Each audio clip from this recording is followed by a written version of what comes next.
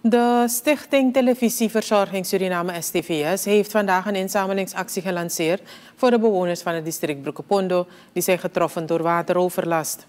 Volgens directeur Raoul Abisoina is deze actie op touw gezet om de mensen in nood te helpen. We hebben allemaal gezien onder wat voor toestand de mensen daar de dagen moeten doorbrengen. Een aantal weken al zien we. En zonder iemand de schuld te geven, want dat is nu niet het punt. Het punt is nu, hoe komen we die mensen tegemoet? En al die weken hebben we vanuit de verschillende hoeken nog geen beweging gezien. En kijk, de STVS is een organisatie met ook een maatschappelijke verantwoordelijkheid. We zijn Sranamangs en die mensen in het district zijn ook onze broeders en zusters. Dus vandaar dat we het initiatief hebben genomen om iets te beginnen. Want in elke situatie moet je iemand hebben die gaat zeggen van hé, hey, me etika voortouw en ik ga dit doen.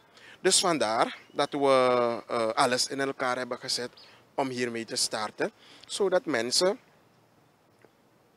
iets kunnen Abisoina geeft verder aan dat bij deze actie de STVS het voortouw heeft genomen, maar dat betekent niet dat zij er alleen voor staat. De directeur legt uit hoe de inzamelingsactie eruit ziet. Vanaf nu uh, mogen mensen levensmiddelen of geld storten op uh, die rekeningen die we bekend hebben gemaakt. Maar de levensmiddelen kunnen de mensen van maandag tot en met vrijdag hier leveren bij de STVS. En op 23 mei gaan we dan die hele dag een teleton organiseren. Waar mensen ook de gelegenheid hebben om levensmiddelen, maar ook geld, het zij cash of gestort, kunnen, kunnen uh, um, doneren voor de mensen. Um, wat we ook erbij willen zeggen, is dat we zoveel mogelijk uh, uh, de instanties die voor de controle moeten zorgen in place hebben gebracht. Want wat we zeker niet willen, is om, uh, het moet niet erop lijken alsof wij op een gegeven moment misbruik, gebruik willen maken van een, een, een, een bepaalde situatie. Maar we hebben ook gekeken naar de ernstigheid van de zaak.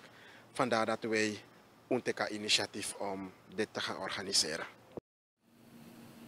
De STVS-directeur rekent op de betrokkenheid van de Surinamer om de inzameling tot een succes te maken.